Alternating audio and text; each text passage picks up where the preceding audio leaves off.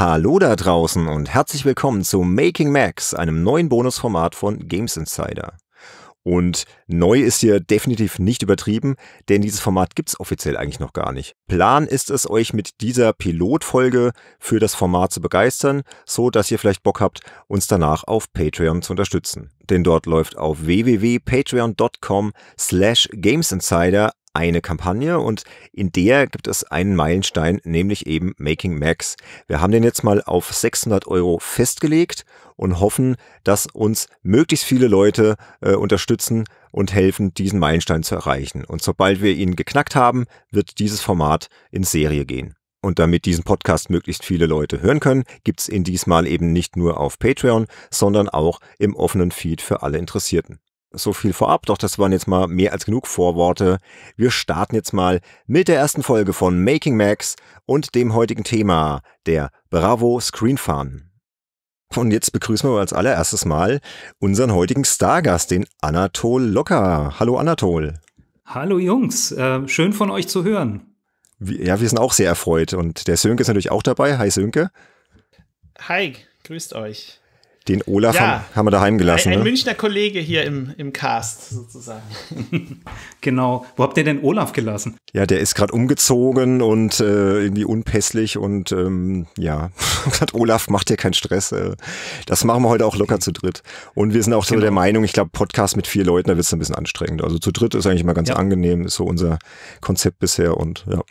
Äh, mhm. Ja, so. Und Jetzt haben wir hier dich als Gast und ähm, klar, die meisten werden dich kennen, aber vielleicht gibt's ja den einen oder anderen Hörer oder äh, die eine oder andere Hörerin da draußen, die Anatol Locker nicht kennt. Ähm, vielleicht magst du dich mal in zwei, drei kurzen Sätzen einfach nochmal vorstellen. Wer bist du? Was hast du gemacht? bisher? Okay, sehr gerne. Also ich bin ähm, Journalist, das heißt, ich arbeite in Redaktionen oder an Redaktionen oder mit Redaktionen und ähm, hatte damals ähm, in den 80ern echt das riesige Glück ähm, zu Heinrich und Boris auf, damals auf der Suche nach einem Ferienjob in die Happy Computer Redaktion zuerst und dann später in die Powerplay zur Powerplay zu stoßen. Und bin durch ähm, verschiedene Arten und Weisen dann sogar dort Chefredakteur, durch verschiedene Zufälle einfach Chefredakteur geworden und habe das dann einige Jahre gemacht. Und ich denke, dass die meisten, die mich so aus dem Spielekosmos kennen, wird natürlich eher aus dieser Zeit her kennen als, ähm, sagen wir dann später bei meinen späteren äh, Redaktionen. Ich bin dann nach der Powerplay weiter zur Redaktion Wiener gegangen. Denn Wiener war so ein Lifestyle-Magazin. Ich weiß nicht, ob ihr Wiener und Tempo noch kennt. Das waren halt zwei Magazine, die sich sehr stark um Popkultur gekümmert haben, um gewisse Strömungen, neue Trends und dort halt, mhm. ich habe dort das Musikressort übernommen und das war so eine Geschichte, die mir riesen Spaß gemacht hat, war sehr kurz eigentlich und äh, nur neun Monate, aber die haben, die haben ja nochmal wahnsinnig viel beigebracht, weil im Spielejournalismus und gerade zu der damaligen Zeit, was du halt versucht hast, war ein Markt transparent zu machen und den Leuten zu sagen, hey, das sind eigentlich die coolen Dinge, die du spielen musst oder von denen du wissen musst. Und ähm, beim Wiener habe ich dann einfach nochmal gemerkt, dass es auch noch andere journalistische Formen gibt. Da gab es dann mehr Interviews, da gab es dann halt äh, zusammenfassende Artikel, da gab es dann, äh, es hat mich einfach nochmal ein bisschen mehr gefordert und das hat mir eigentlich sehr gut getan. Ich bin dann weitergezogen noch zu einer anderen Redaktion, zur damals frisch gegründeten TV Movie. Das war vom Heinrich Bauer Verlag, so ein, ja, eigentlich ein Klon von der TV Spielfilm waren damals ganz erstaunlich wichtige Zeitschriften. Mhm. Und ähm, da durfte ich auch, also am Anfang habe ich wieder, ich bin da, das müsst ihr euch vorstellen, das sind Dinge, die du heute gar nicht mehr glaubst. Mhm. Die, haben, die haben irre viel verkauft, ne? Ja, die haben erstens haben die, was haben die pro, pro Woche verkauft? Ich müsste lügen, aber es waren mindestens zwischen zwei und drei Millionen Exemplare, verkaufte Wahnsinn. Exemplare hm. pro Woche. Wahnsinn. Oder war das 14-tägig? Ich weiß nicht mehr. Da lässt mich mein Hirn gerade im Stich. Auf jeden Fall ähm, bin ich eingestellt worden in ein Ressort, das hieß dann so, ja, das waren ein paar Kinofilme, wurden dort besprochen, ein bisschen Musik, ich habe dann die Computerspiele noch mit reingebracht und dann gab's noch Bücher und sowas. Und das, was normalerweise heute dann Praktikant macht oder jemand, der sagt, naja, trag mir da einfach mal schnell eine zwölfseitige Strecke in 14 Tagen irgendwie zu, zusammen, das haben damals fünf Redakteure gemacht in Vollzeit. Was natürlich bedeutete, dass wir mhm. damals echt ein ziemlich cooles Leben hatten. Und ähm, ich war tierisch viel im Kino, habe äh, interessante Leute interviewen dürfen, habe ähm, einfach eine gute Zeit gehabt und richtig Spaß. Und ähm, da, das war in Hamburg damals. Und dann habe ich einmal, und da kommen wir nämlich auch gleich eigentlich zur Bravo Screen Fun, eine Nacht standen wir nach einer ziemlich durchtanzten und durchfeierten Nacht, standen die ganzen Kollegen irgendwie zusammen und es ging plötzlich um die Bravo. Mhm. Also du meinst die Kollegen vom Bauer Verlag? Die Kollegen vom mhm. Bauer Verlag ja. in Hamburg. Mhm. Und die Bravo war was, die wurde in München gemacht damals, in München hergestellt, war auch eine Redaktion mit ungefähr 20, 30 Leuten, also ein richtig dickes Ding. Und der Bauer Verlag hat da auch richtig viel Geld investiert und es war einfach ein Dickschiff bei denen. Mhm. Und äh, wir standen da irgendwie zusammen und ich weiß nicht, wie wir da drauf kamen, aber irgendwie war damals auch eine Verlagsleiterin, die genauso mitgefeiert hat und nachgeturnt hat und nachts getanzt hat und irgendwie Spaß hatte. Und da standen wir dann so zusammen und haben gesagt, ja, Bravo, und ich meinte dann halt, eigentlich ist eine total cool, coole Marke. Solange es Teenies und Pickel gibt, wird es auch die Bravo geben. Ich finde das ein cooles Teil, weil es ähm, hilft dir einfach, deine Pubertät irgendwie besser durchzustehen. Hm. Und das ist bei ihr irgendwie im Hinterkopf geblieben. Und ähm, dann bekam ich plötzlich einen Anruf aus München von einem Verlagsleiter. Und der meinte, ob ich nicht mal schnell vorbeikommen möchte und er hätte da so eine Idee, die er mir anbieten würde. Und ja, das war dann die ähm, Bravo Screen Fun, weil er gesagt hat, naja, gut, Computer und Computerspiele sind wohl was, was eben auch in den relevanten Kosmos reingehört. Und die ganzen Pappnasen von Bravo, meinte er damals wirklich so ungefähr wortwörtlich, die könnten zwar alles mit Musik total gut machen und das sei äh, ja wirklich eine ganz prima Angelegenheit, aber äh, Computerspiele äh, würden sie nicht verstehen. Und ob ich denn mal ein Konzept schreiben könnte. Dann habe ich mal ein Konzept geschrieben das wurde dann vorgelegt und angenommen und dann sind wir eigentlich auch schon direkt in die ähm, ja in die äh, Entwicklung des Magazins reingegangen. Ganz kurz, welcher so, Zeitraum war ja. das denn? Wir sprechen jetzt so vom also die erste Ausgabe erschien ja von der Screen Fun äh, also als als ähm, ich sag mal Testballon, ne? Also das war die 497, wenn ich da richtig informiert genau, bin. Und, genau. Und du sprichst jetzt von dem Zeitraum so davor, also so 96 oder Ich spreche von dem Zeitraum davor. Okay, exakt. Mhm. Gut. Also das war 1996, das kam mhm. mir sehr zu Pass, weil ich äh, da meine Frau wieder also kennengelernt habe und auch nach München wieder zurückgehen wollte. Und wie gesagt, die Bravo war in München, da, da war das irgendwie ziemlich ähm, klar. Cool, dann habe ich bei TV Movie gekündigt und bin dann direkt dorthin gegangen. Und ähm, ich habe dort erstmal ein bisschen freigearbeitet und habe dort eben das konzipiert 1996. Mhm. Dazu muss man wissen, die Bravo hatte damals zu ihren besten Zeiten eine Auflage wöchentlich von 1,6 Millionen. Das waren die besten Zeiten. Ach, was Zeiten. Ne?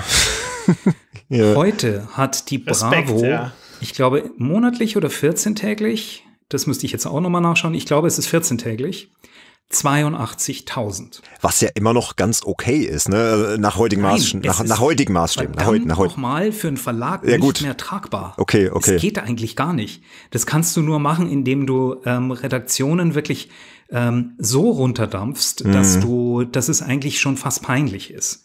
Also mit 82.000 monatlich, weil das kostet ja auch nicht wahnsinnig viel. Mhm. Du kannst ja nicht so, so richtig hochgehen. Es ist, es war eigentlich sehr klar oder es ist einfach sehr klar abzusehen, dass das Internet da einfach die Rolle der Meinungsbildung oder der Informations, des Informationsangebots komplett übernommen hat, eben auch bei der Bravo. Ja. Mhm. Also insofern mein damaliger ähm, Rant zu sagen, hey, solange es Teenies und Pickel gibt, mh, hm, nee, stimmt nicht ganz, äh, weil das Internet das einfach abgeschossen hat. Ja. Hm. Aber damals war es noch äh, sehr ja, erfolgsversprechend, ne? Sonst hättest du wahrscheinlich das ganze ähm, Ding ja auch nicht angegangen. Ich meine, ja, selbstverständlich. Du, du kamst ja aus einer also ganz, anderen, äh, ganz, ganz ja. anderen Ecke, wie du gerade erzählt hast. Wiener, genau, TV-Movie genau. und so, ne? Also. Ja, also ich hatte halt irgendwie das wahnsinnige Glück, dass ähm, ich so zwischen beiden Welten hin und her pendeln konnte und durfte. Hm. Ich habe damals für den Stern sehr früh eine Computerspiele-Seite geschrieben zum Beispiel. Das war, glaube ich, die erste, die überhaupt in so einem großen Magazin dann irgendwie drin war. Und habe ähm, immer versucht, eigentlich so Grenzgänger zu sein und äh, eigentlich auch Botschafter für die Spiele und die Spielekultur. In den, sagen wir mal, 90ern, ab dem Jahr 2000 haben sich die Dinge mit dem Internet dann ohnehin sehr gravierend geändert. Hm. Ja gut, da kommen wir später noch drauf, weil ich habe so ein bisschen auch so einen ja. kleinen Überblick äh, mir mal verschafft, so wie sich so mhm. die Auflagen entwickelt haben. Aber wir sind jetzt erst so, ein bisschen ja. so in der, in der, goldenen Zeit. Ne? Also du bist dann ja. hingegangen, hast ein Konzept erstellt für diese Erstausgabe. Mhm. Hast du das ganz alleine gemacht oder wurde dann irgendwie mit anderen das Leuten gebrainstormt und, oder wie lief das ab? Also ähm, ich hatte die Idee eigentlich das, was wir hinten bei der TV Movie gemacht haben, im hinteren Mantelteil, mhm. nämlich ähm, auch wieder eine komplette Marktübersicht über hauptsächlich Spiele, aber eben auch Kino, Software, Hardware und eigentlich alles. Die Idee war, die Grundidee von dem Heft, dass du als Jugendlicher, der vielleicht gar nicht alles mitbekommt und einfach nicht alles weiß, dass du, wenn du die Screen Fun konsumiert hast, dass du bei allem mitreden kannst. Mhm. Das heißt, wir haben auch natürlich auch den ein oder anderen größeren Kinofilm noch mit da drin gehabt, was manche später als Störer empfunden haben, weil die gesagt haben, es ist ein Spieleheft. Aber mir war es wichtig, einfach so eine Komplettübersicht eben über das, was Kindern und Jugendlichen Spaß macht, zwischen acht und bis maximal 18 Jahre. Und das Filetstück war mir schon total klar, das waren Spieletests und Kaufberatung und da habe ich mich zusammengesetzt, ähm, unter anderem mit dem Kollegen Heinrich Lehnhardt, mhm. der mir auch das, ich habe es lustigerweise bei mir vor kurzem auf der Festplatte nochmal gefunden, ähm, ein zur Happy Computer relativ ähnliches oder zur Powerplay relativ ähnliches Konzept geschrieben hat, also mit hunderter Wertungen und allem möglichen, mhm. aber auch schon sehr klar gesagt hat, ähm, da klar war, dass Bravo jetzt nicht so ein 250 Seiten Heft oder die Screenfund kein 250 Seiten Heft werden sollte, sondern eher günstig und ähm, ja auch vom Papier her jetzt nicht die super teuerste Ausstattung haben, haben sollte ähm, wollten wir irgendwas machen, wo du ähm, kurz und knapp eben genau über die Dinge Bescheid kriegst. Mhm. Filetstück, wie gesagt, Spieletests, Kaufberatung. Dann haben wir später eingeführt, um das einfach auch in der Erfahrungswelt der, der Jugendlichen auch noch ein bisschen zu halten, äh, Not Schulnoten mit Plus und Minus zwischen eins und sechs. Ganz wichtig, ne, um, um ein bisschen abstufen zu können. Genau. Ja. Dann habe ich mir ein Team zusammengesucht, nachdem ich den Auftrag bekommen hatte. Wie gesagt, da war Heinrich mit dabei, da waren, ähm, ja, ich weiß nicht, ähm, äh, das war eben diese berühmte 4 1997.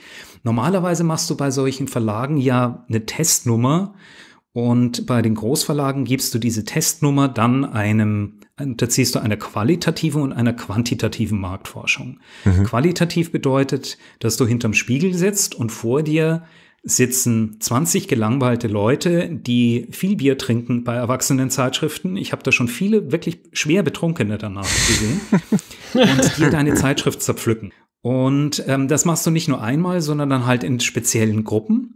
Und ähm, mal sind es ein bisschen ältere, mal ein bisschen jüngere, dann hast du eine Frauengruppe, dann hast du eine Männergruppe, dann hast du Leute, die was von Spielen verstehen, Leute, die nichts von Spielen verstehen. Also du versuchst dich quasi so ranzutasten, durch andere Erfahrungen, wie die, wie die das fühlen. Und das Zweite ist, dass du bei so einer Marktforschung das Heft ähm, an 100, 200, 300 Probanden rausgibst. Die sollen das Heft lesen und dann zu jeder Seite sagen, gewisse Fragen beantworten, die du vorher abgeben kannst. Und das wurde beim Bauer Verlag sehr exzessiv und sehr akribisch auch gemacht. Und darauf wurde, das war eine wichtige Entscheidungsgrundlage. Aber halt auch ein bisschen Bauchgefühl. Jetzt gab es noch eine ganz besondere Nummer. Da die Bravo so das Dickschiff war und damals die Chefredakteure von der Bravo innerhalb des Bauer Verlags viel zu sagen hatten, wurde ich damals zu Herrn Büchelmeier, das war der damalige Bravo-Chefredakteur, geboten, ein super netter Mann, mhm. der aber von Digitalen keine Ahnung hatte. Der hat sich die Artikel ausdrucken lassen, hat sie in einen Korb neben der Assist bei der Assistenz hingelegt und abends hat er die Artikel durchgelesen hat handschriftliche Korrekturen gemacht, die Redaktion musste da bleiben und wenn die handschriftlichen Korrekturen dann fertig waren, wurde das Ganze dann digital weiter bearbeitet. Herrlich. Kein, kein Rechner. ja. ja. Und ähm, nee, muss, musste er auch nicht. Und er hat damals auch wirklich einen tollen Job gemacht. Aber er hat mir auch gesagt, ich habe keine Ahnung von dem, was du machst. Ich möchte aber sicher gehen, dass du keinen Scheiß mit der Marke machst. Deshalb gab es einen Anstandswauwau. ein super netter Kollege, ist leider verstorben, der uns ähm, damals geholfen hat oder versuchte zu helfen. Und wie es kommen sollte, alles das, was er vorgeschlagen hat, nämlich lass uns doch Bravo-Stars nehmen und die was spielen, das ist total in die Hose gegangen. Das ist ratzfatz durchgefallen. Das war DJ also Bobo, ne, in der, in der Erstausgabe, oder? Das war, ja, da sind Sachen dabei. Ich meine, diese, die beiden. Ich diese, scroll hier gerade durch. Es ist es der sind, Hammer. Es sind Hammer-Sachen da. Also es ist wirklich, es ist hoch faszinierend. Wir hatten auf der Erstausgabe, äh, warte mal, äh, Charlie Low Noise und Mental Theo die kennt heute kein Mensch mehr. also ich, ich kenne sie noch, ich kenne sie noch, aber gut, ich war damals neun, ich war damals 19 oder 20, 20. Okay. Das war so die wilde Partyzeit nach dem Abitur. Ich glaube, da, ja, da liefen ja. die überall. Ja, ich kenne die noch. Das ist ja, total, genau. ja. Hm. Ähm, Smudo bin ich dran schuld. Smudo kenne ich noch von früher auch aus Hamburg oder sagen wir mal eigentlich aus Wiener Zeiten. Da haben wir öfter mal miteinander kommuniziert und er war nett genug, uns ein Interview zu geben. Und wir hatten aber einfach viele, DJ Bobo stellt ähm, Musiksoftware vor. Ja, das hatte ich gesehen. Sagst, ähm, nee, geht, geht gar nicht. Das geht überhaupt. Das ist alles komplett durchgefallen. Also es war sehr klar, was wollten die, die Jugendlichen die wollten möglichst klar und deutlich informiert werden.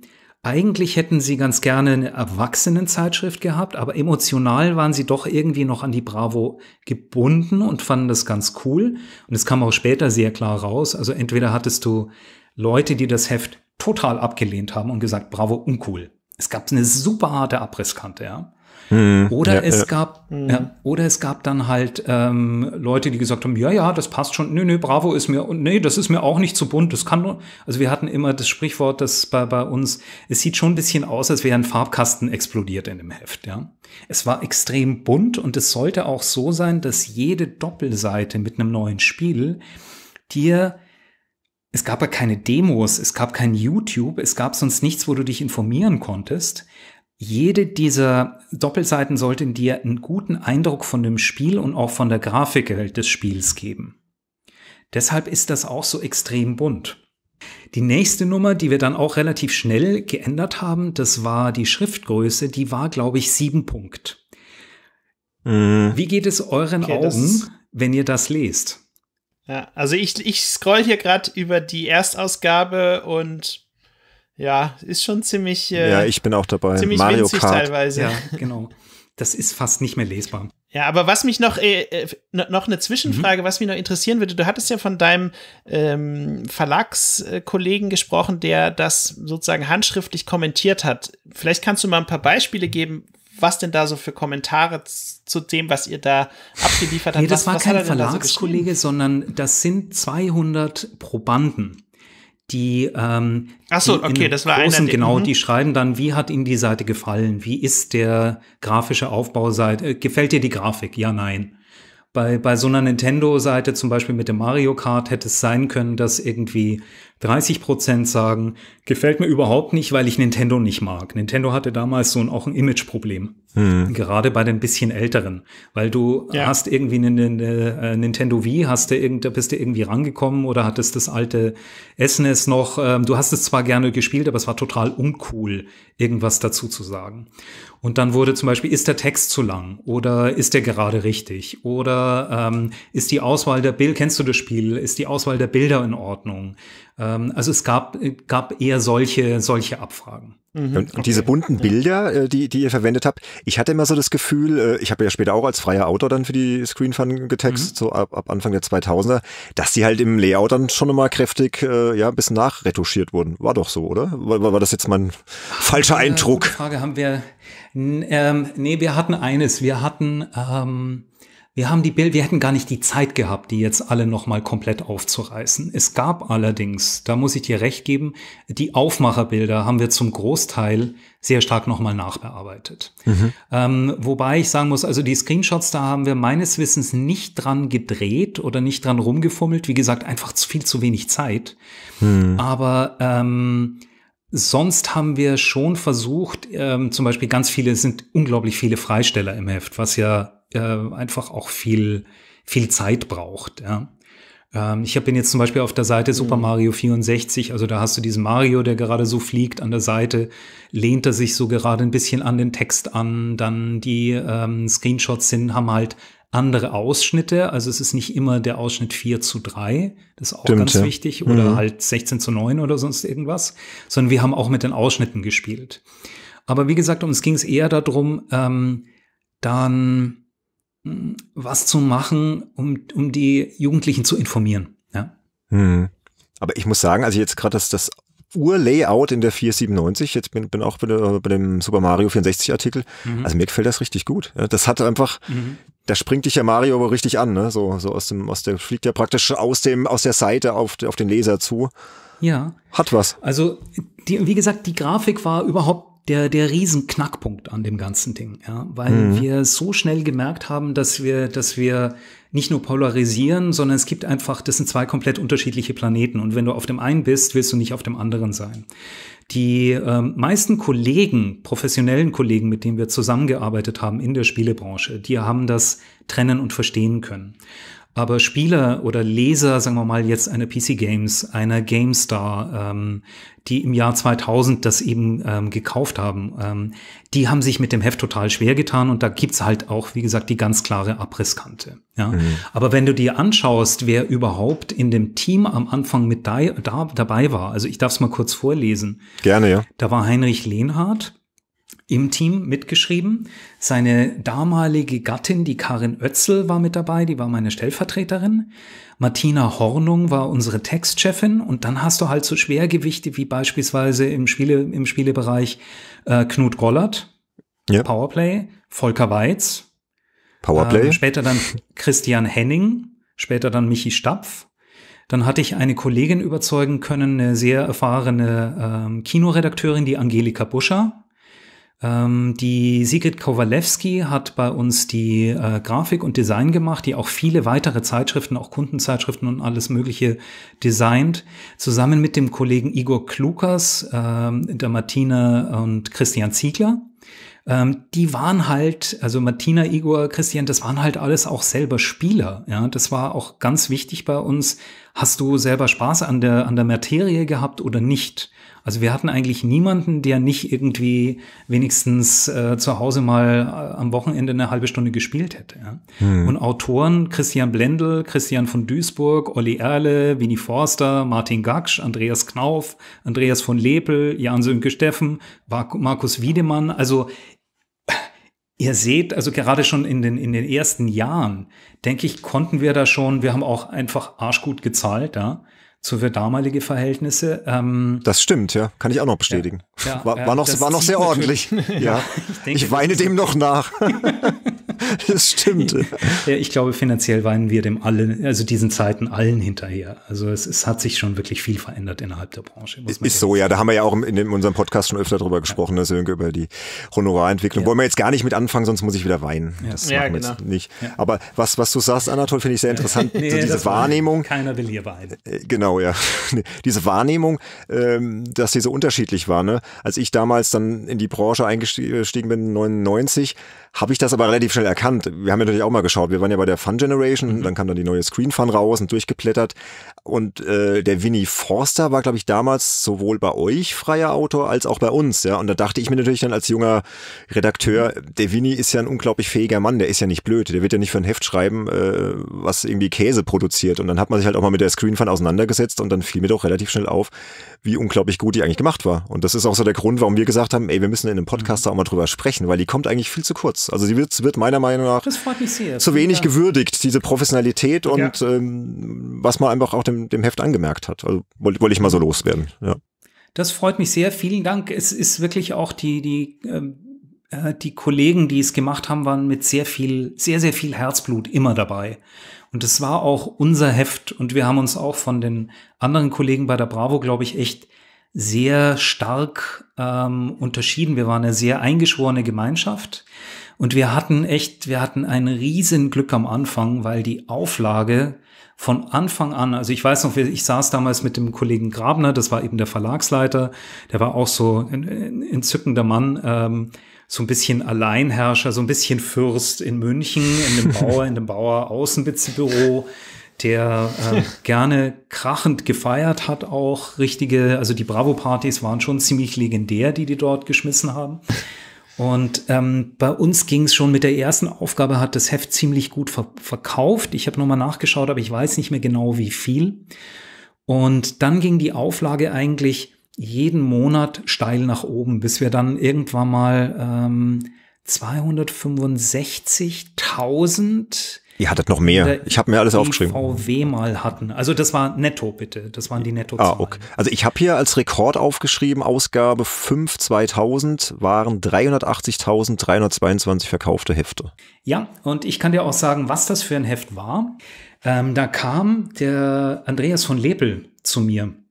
Wenn ich mich nicht schwer irre, müsste es genau dieses Heft gewesen sein. Und er sagte, da ist so ein neues Spiel von Nintendo draußen. Ähm, das äh, Pokémon finde ich irgendwie total super spannend. Das ist eigentlich ein bisschen ältere Franchise und so. Und ich dachte, ja, habe auch schon mal Pokémon gehört. Und was ist jetzt? Ja, ähm, wir können Folgendes machen. Ähm, Nintendo hat mir gerade mal alle Grafiken von allen Pokémons zugeschickt auf einer CD. Ui. Und wir okay. haben diese alle Pokémon genommen, alle 151, glaube ich, sind's und haben einen Umschlag gemacht um das Heft rum mit lauter winzigen Aufklebern von 151 Pokémons. Wenn Nintendo das heute sehen würde, würdest du wahrscheinlich keine weitere Ausgabe mit Nintendo machen. Aber wir hatten damals auch noch eine, ein gewisses Standing. Und ich glaube, sie haben ein bisschen in die Tischkanten, äh, Tischkante gebissen, aber das Heft hat einfach verkauft wie geschnitten Brot. Ja? Und das fand ich auch das, das Schöne eigentlich an dem Verlag. Ähm, so ein Großverlag hatte zu dieser Zeit einfach Punch. Das heißt, wenn du sagst, ich glaube an was und ich denke, dass die Zielgruppe das und das will, dann haben die gesagt, okay, lass es uns ausprobieren. Hm. Wenn du es dreimal ausprobiert hast und die dreimal 25.000 Euro in den Sand gesetzt haben, dann war natürlich irgendwann mal Schicht.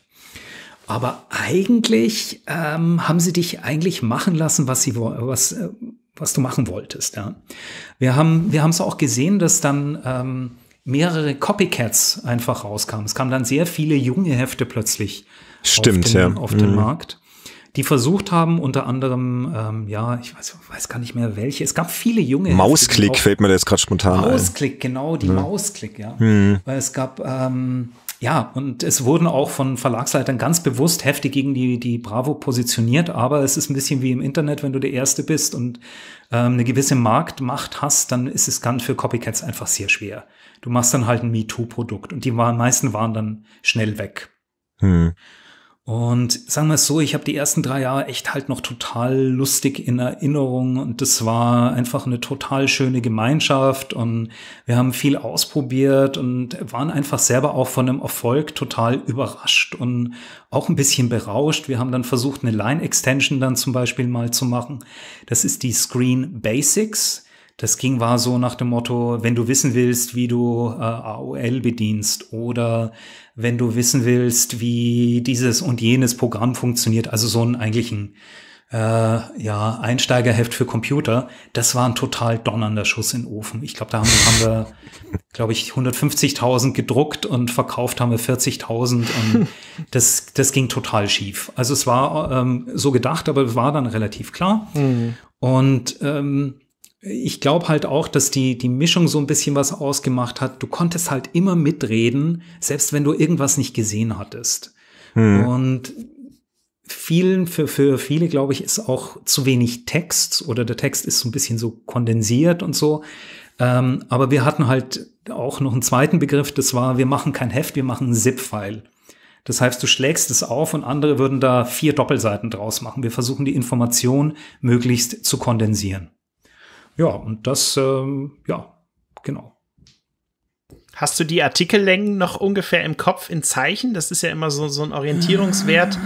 Ähm, ja, also. Und vor allem auch, wie viel hast du dann kürzen müssen von dem, was, was dir so geschickt wurde? Oder hast, habt ihr damals tatsächlich. Da kann ich ja gleich was zu sagen. Gehabt, oder, ja, nee, aber lass erst mal Anatol an. doch mal los. Ich, ich, ich laber hier euch ohnehin nee, nee, komplett nee. zu. Schieß, nee, also, doch, schieß doch mal los. Also, als ich damals eingestiegen bin als Autor, da warst du dann, glaube ich, du hattest ja zwischendrin eine kurze Pause gemacht. Da können wir mhm, vielleicht auch genau. noch mal kurz drauf, gleich ja, äh, drauf kommen, warum du diese Pause gemacht hast, aber können wir vielleicht kurz mhm. mal aufschieben. Äh, ich bekam damals vom Michael Stapf immer die Aufträge, das war mein Kontakt, und der sagte mir dann klipp und klar, ähm, was weiß ich, zwei Seiten waren dann, glaube ich, viereinhalbtausend Zeichen, was ja für zwei Seiten total wenig ist. Die dann aber beide mhm. einzeln abgerechnet wurden. Das war natürlich dann erstmal fantastisch. Ja. ja. Andererseits war es natürlich auch ungewohnt, weil wenn du halt dann von so einem, so einem Freak-Magazin wie der Fun Generation kamst oder halt halt irgendwie für die, die Game Pro später oder so, ja, mit längeren Texten irgendwie geschrieben hast, war das einfach eine Umstellung. Du musstest wirklich auf den Punkt schreiben, sehr, mhm. auch sehr aktiv. Das war auch für mich eine neue Erfahrung, so dieser sehr aktive Schreibstil, die Anrede du, ja, sehr prägnant alles und ähm, ja, das, also es war kurz, kann ich auf jeden Fall sagen. Mhm, ja. Mhm. Ähm, völlig richtig, weil was ich nicht haben wollte, war eine elendlange Bleiwüste. Und ich denke, wenn du dich dafür wirklich auch interessiert hast und so tief drin warst, dann warst du eigentlich in dem Heft auch nicht mehr, äh, dann warst du dem Heft auch schon ein bisschen entwachsen. Mhm. Und äh, die, man darf eines nicht vergessen, die, der Zugang zu Spielen war damals wesentlich schwieriger. Keine Smartphones, keine Tablets, kein Internet.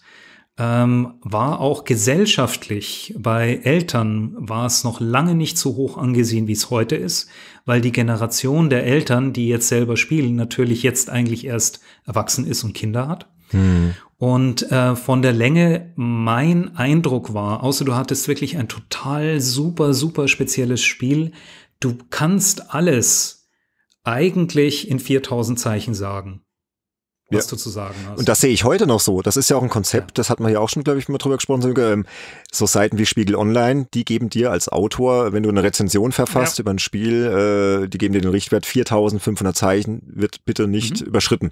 Und das ist dann halt genau. so. Und dann musst du wirklich punktgenau liefern. Und das habe ich damals als Autor auch so ein bisschen gelernt durch die Screen Fun. Also mhm. das war für mich eine, mhm. sehr wichtige Erfahrung auch, muss ich echt sagen. Also da war ich auch dann im Nachhinein sehr dankbar, weil da wusstest du halt, ja. okay, es geht auch kurz und du kannst, wenn du dich ein bisschen am Riemen reißt und einfach mal auf den ganzen überflüssigen Ballastfächer verzichtest als Autor, du kannst da auf den Punkt kommen und dann ist alles gesagt, was gesagt werden muss. Ne? Mhm. mhm.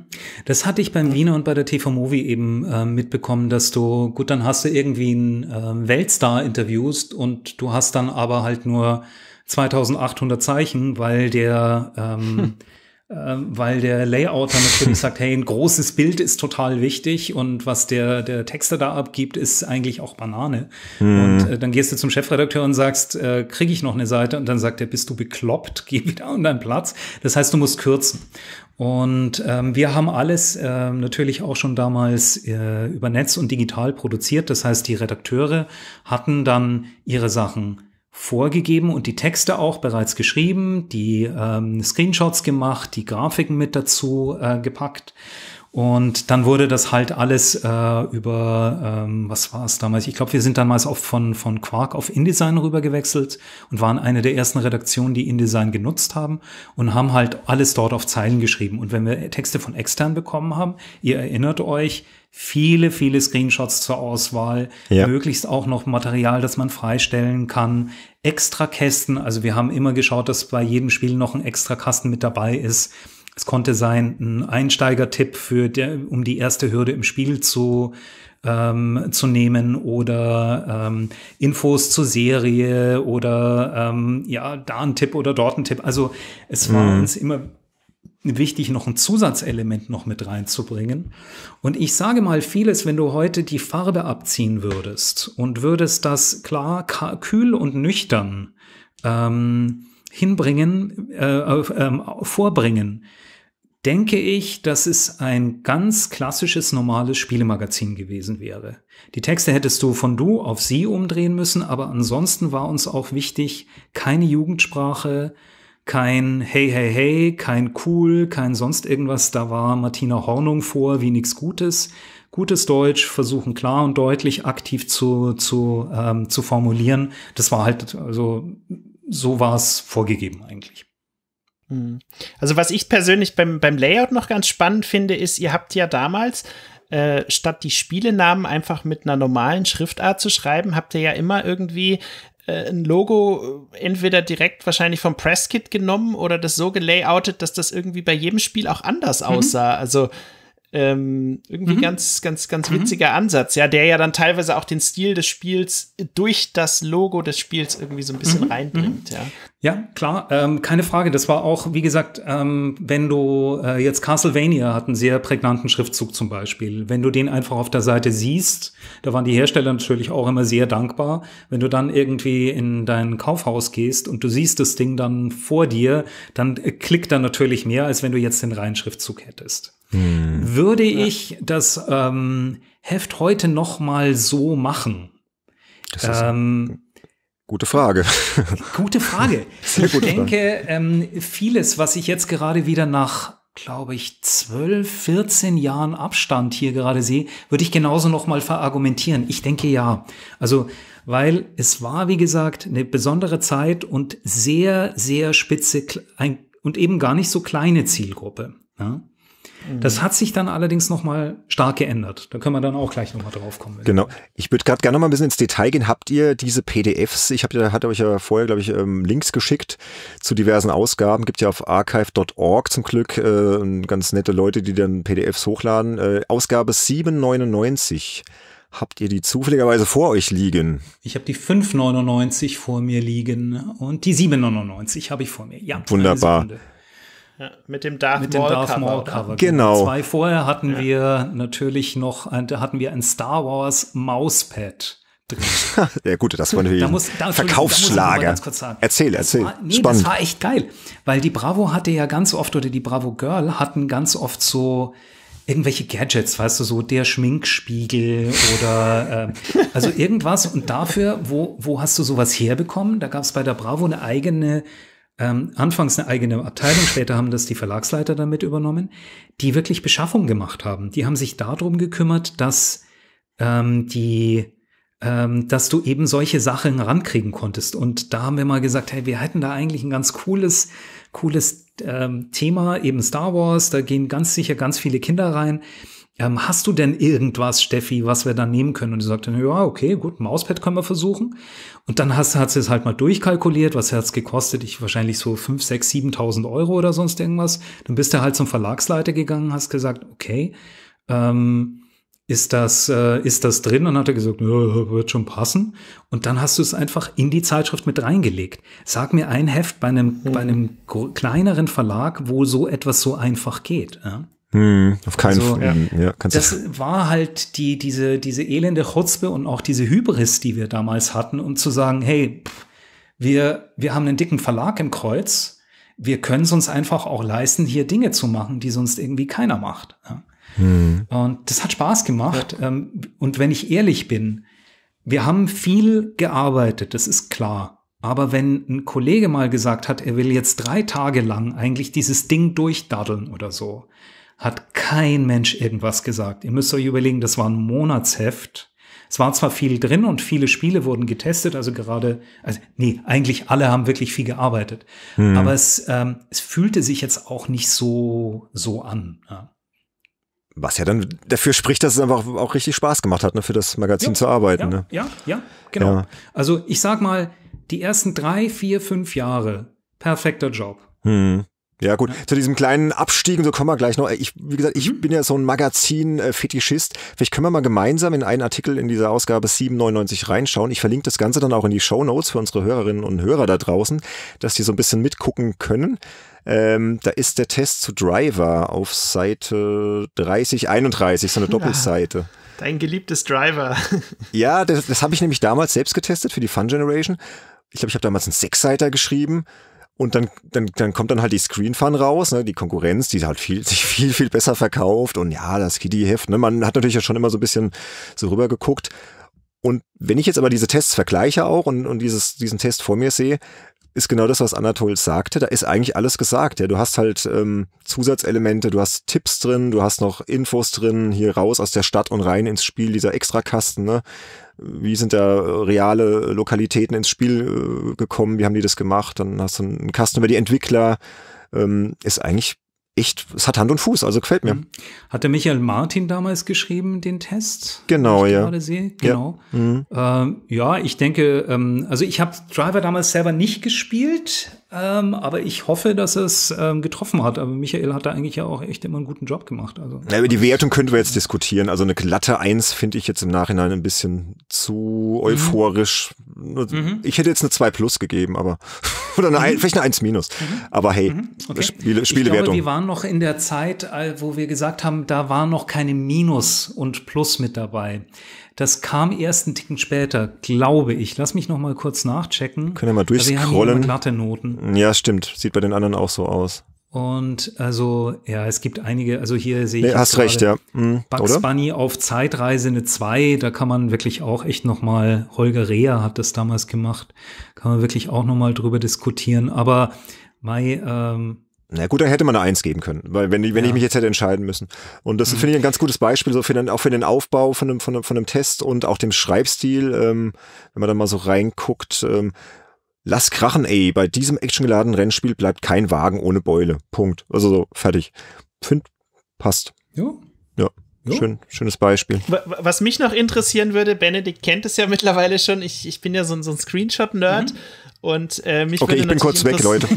ja, mich würde natürlich interessieren, ähm, was habt ihr den Autoren eigentlich äh, für Vorgaben gegeben in Sachen Screenshots? Ähm, waren Pressebilder überhaupt erlaubt? Nein. Und wenn ja, nein. Äh, keine, keine Pressebilder. Es war auch noch nicht die Zeit, wo nee, nee, nee. Pressebilder ganz deutlich und aktiv retuschiert waren, außer wir hatten eine Preview. Mhm. Ähm, aber da war es eigentlich, ähm, also wir haben intern hatten wir ein System mit einem, da hat Stapfi drüber gewacht. Da hingen ähm, die äh, ganzen Konsolen alle an einem äh, Videograbber dran, was heute ja auch gang und gäbe ist. Und äh, wenn du wolltest, hast du halt äh, dann dort direkt per Knopfdruck, äh, ich glaube, wir hatten sogar eine Fernbedienung, äh, einzelne ähm, Screenshots machen können. Das Ganze wurde auch quasi mit aufgezeichnet, so dass du hin und her spulen konntest und alles mögliche. Also es war, waren ich mhm. hoffe, ich habe das noch richtig im Kopf oder es war Wunschdenken. Ich weiß es. War auf jeden Fall ein richtig teures System mit einem richtig fetten Monitor. Und ähm, in dem Spielezimmer, ähm, da, ich glaube, das war damals einer der größten Monitore, den wir überhaupt kriegen konnten. Und das hat sich ähm, aber wirklich deutlich ähm, bewährt gemacht. Wir haben auch bei der, weil beim Bauer Verlag, das ist so. Der Bauer Verlag ist ein Verlag, der zu dieser Zeit damals das Image hatte, nicht innovativ zu sein, sondern immer eine Copycat zu machen von großen erfolgreichen Ideen, es ein Zehner billiger zu machen und dann konntest du da halt das Heft kaufen. Und wir fanden uns damals schon auch so ein bisschen ähm, als Speerspitze und generell so ein bisschen als äh, die coolen Jungs irgendwie da, weil wir halt auch das komplett alles digital gemacht haben und so. Aber entschuldige, um zurückzukommen auf die Screenshots. Äh, nein, wir haben nicht an den Screenshots ähm, groß rumgeschraubt. Es kann sein, dass irgendein besonders dunkler Screenshot beispielsweise, der dir sonst im Druck absäuft, dass der nochmal nachbearbeitet ja. wurde. Also das weiß ich, dass wir versucht haben, wir hatten kalibrierte Monitore bei den Grafikern und sehr stark versucht haben, einfach das für die, äh, für die Leser möglichst optimal zu haben. Wenn wir was bei Screenshots gemacht haben, dann haben wir eher Aus, Ausschnitte gemacht. Die haben wir nicht gekennzeichnet. Ja. Ich fand das aber auch nicht notwendig. Wie war das bei externen? Also wenn jetzt zum Beispiel jemand in einer völlig anderen Stadt äh, hunderte Kilometer entfernt sitzt, äh, wie liefert der euch dann das Bildmaterial? Oder habt ihr dann von dem Spielstand bekommen und da für ihn die Bilder gemacht? Oder Nee, das haben wir nicht gemacht. Nee. Nein, so weit sind Nein. Nee. Da, da, kann ich noch kurz was Nein. zu sagen. Also ich, ja. meine Erfahrung damals war so Anfang der 2000er, wie gesagt, mein Kontakt war der, der Michael Stapf, Stapfi, der war das sehr, sehr mhm. streng. Ja? Der hat dann auch gesagt, mhm. nee, äh, danke für die fünf Bilder, aber zwei von denen können wir bitte nochmal austauschen. Also da wurde schon sehr drauf geachtet. Wie gesagt, da wurde, wurde es als mhm. Autor auch so ein bisschen ranerzogen, dass dann auch genau das geliefert wurde, was, was ihr ja, sehen wolltet. Und nur selbstgemachte Screenshot, äh, Screenshots nur in guter Qualität. Und ich hatte damals irgendwie das Problem mit meiner äh, ersten Xbox, äh, hatte so eine Debug-Konsole von Microsoft als Leihgerät. Und es gab dann mhm. irgendwie so einen Trick über LAN-Kabel und irgendeine so so eine Batch-Datei, ich weiß nicht mehr genau, ich habe da ewig gebraucht, bis ich diesen Scheiß, Entschuldigung, sozusagen endlich zum Laufen gebracht habe. Und dann hatte ich aber endlich wunderbare Screenshots äh, als unkomprimiertes BMP-File und dann war der Stapfi glücklich mhm. und ich war glücklich und ich hatte mhm. Tip-Top-Bilder, die haben dann auch locker mit eurem System da wohl äh, mithalten können, meinte er damals. Mhm. Und dann, dann war mhm. alles, war alles gut, ja. Mhm. Genau, so war das mit den Bildern. Also ja, Sönke noch Bilderfragen? Weil wie gesagt, Sönke ist da immer sehr äh, interessiert. Nee, also das, ja, die Bilderfragen führen äh, meiner Meinung nach immer zu recht interessanten mhm. Ausführungen der einzelnen äh, Befragten. Was mich natürlich noch interessieren würde, ähm, ganz wichtig, na, auch für jede Ausgabe, Thema Cover. Also auf dem Cover ja. waren ja bei euch, also wenn man sich die erst ja, wenn man sich die Erstausgabe anschaut, äh, das war ja so ein bunter Mix, äh, meiner Meinung nach teilweise ein bisschen zu viel auf einmal, aber für die Leute, die Bravo gemocht haben, glaube ich, genau der richtige Style. Äh, nach welchem Prinzip seid ihr da vorgegangen? Wie, wie habt ihr da selektiert, was schafft es jetzt mhm. aufs Cover und was nicht? Waren das dann hauptsächlich die großen Namen oder hattet ihr da so eine spezielle mhm. Vorgehensweise? Wie, mhm. wie habt ihr das gemacht? Okay. Also die, die, ähm, erst ganz kurz noch ein Wort zur Erstausgabe. Bei der Erstausgabe des Cover ist uns komplett durchgefallen, weil da zwei Personen drauf waren, die nicht in die Spielewelt gepasst haben. Definitiv. Ja. Wer sind die nochmal? Äh, ich schaue es mir gerade nochmal an. Das war, wie gesagt, äh, der, den, die du kanntest, Charlie, no, Low Noise und Mental Theo. Ah, ja. Mental, ja, genau, genau. Ja. Und das hat nicht funktioniert. Das war, wie gesagt, ein donnernder Schuss in den Ofen. Aber die, ähm, wir haben dann sehr schnell gemerkt, dass eigentlich unsere Spiele Helden, also die Spielehelden im wahrsten Sinne, auch diejenigen sind, die die äh, Teenager auf dem Cover sehen wollen. Was dann dazu führte, dass die Bravo Screen Fun das Heft war, das, glaube ich, innerhalb der ganzen Welt die meisten Lara Croft Covers hatte. Stimmt, ja. Ich, weiß ja. Nicht, ich glaube, wir werden nur noch getoppt vom offiziellen Lara Croft Magazin. Also es war, es war auch wirklich, es war ein, eine Pein, sowohl für die Kollegen von Eidos damals, als auch für uns, als auch für die Macher von, von Tomb Raider, weil wir alle drei Tage da standen und haben gesagt, wir brauchen ein neues Cover, wir brauchen ein neues Cover, wir brauchen ein neues Cover. Das hat die natürlich wahnsinnig gemacht, ja. Und ähm, die, wir wissen alle, dass die Spieleindustrie ganz gerne auch ein bisschen auch eine gewisse ähm, ja, Machtspiele mal spielt. Dann versuchst du das dem zuerst zu geben und dann kriegt's der Redakteur wieder, dann kriegt das das andere Magazin. Und wir haben da ziemlich viel Aufwand betrieben, um wirklich gute Grafiken herzukriegen, gerade für das Cover. Auf dem Cover sollte halt immer alles äh, mit droben sein, was relevant und wichtig war, was wir als wichtig im Heft empfanden. Das heißt, die wichtigsten Spiele, ein großer Aufmacher, die wichtigsten Spiele. Dann musste natürlich immer noch drauf ähm, ein, das Extra, das wir im Heft hatten, Poster hatten wir sehr häufig, das war eigentlich Standard. Wir hatten auch mal einen kompletten Kalender mit drin für einen Jahreskalender, relativ teuer mit dicken Dingen, also mit dicken äh, Pappe ge äh, gemacht. Mhm. Dann das Mauspad und so weiter. Und dann habe ich mir was von der TV Movie abge äh, abgeklaut. Ihr seht hier auf dem Star Wars Cover, kurz mal den Hörern beschreiben, da ist so ein vielzackiger gelber Stern. Mhm. Und wenn du dir zu dieser selben Zeit anschaust, TV-Movie-Covers, die haben drauf einen viel zackigen gelben Stern, in dem irgendwas Spezielles drinsteht. In dem Fall steht hier Star Wars, MacWarrior 3, zwei super Poster. Das mhm. heißt, hieß bei uns damals der sogenannte GGF. Der geile gelbe Fleck. ja. Wieder was gelernt. Ja. Dann hatten wir hier noch droben die Superhits der Spielemesse. Das heißt, wenn wir wirklich was äh, exklusiv und Neues hatten, dann, ähm, dann haben wir versucht, das auch natürlich ähm, eben auf dem Heft draußen zu haben. Dann hatten wir noch so eine kleine, das war so ein Ramschladen, Bauchladen mit Hardware, Kino, Tricks, Spieletricks. Also äh, wir haben uns ziemlich viel Aufwand und Arbeit gemacht. Ich weiß, die Grafiker saßen sicher zwei, drei Tage saßen Igor oder davor die Sigi an dem, an dem Titel. Hm. Ähm, die Martina und ich, also die Textchefin, sind wirklich fast ein bis zwei Tage auch noch mal an den Texten gesessen und haben wirklich alles versucht zu schleifen und zu drehen, was irgendwie ging. Wirklich viel Zeit da rein investiert, aber ich denke, es hat sich hm. dann eben für die Zielgruppe gelohnt definitiv. Und die Tipps waren auch nicht gerade unwichtig, ne? Wenn, wenn ich jetzt mal sehe, der Umfang war relativ hoch und auch mal alles sehr aktuell. Ja lösen. Ja, auch. also wir haben es versucht, genau. genau. Ja. Tipps war, wie gesagt, Prä-Internet, ähm, eben deshalb auch entsprechend ähm, relevant. Und wir haben halt geschaut, geben wir jetzt die Tipps, die der Redakteur, das Spiel, das der Redakteur halt jetzt super wichtig war, findet oder nicht. Hm. Nee, dann halt das, was die Zielgruppe auch interessant findet. Große Frage bei der Bravo Screen Fun war auch immer 18er Titel, ja oder nein. Ja.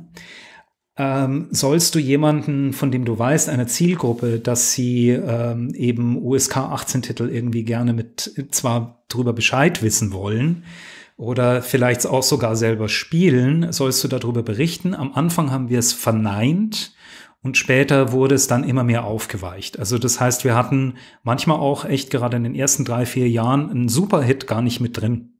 Hm. Ja, weil wir einfach kinder- und jugendfreundlich sein wurde. Je schlimmer die Zeiten wurden, desto härter wurden auch die Bandagen und desto mehr wurde das auch aufgeweicht. Außerdem hat der Markt ja ohnehin dahin ja. gedreht. Und ich habe eins gesehen in den ganzen, äh, wenn wir diese Marktforschungen wieder hatten und du fragst, was spielt ihr? Counter-Strike.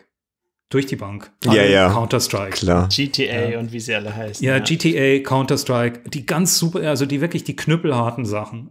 Hm. Völlig, also wirklich aus, aus den Mündern. Manhunt war auch so ein Spiel damals, ne, zu der Zeit. Ja, ja, also es gab, es gab viele, die, die dann Indiziert auch gesagt haben, ja, klar habe es gespielt, aber genau, hm. ich habe es gespielt, ich kenn's. Die haben es noch nie gesehen. Ja, aber bei vielen wusstest du genau, die, die machen das. Ja, klar, die spielen das. Ja.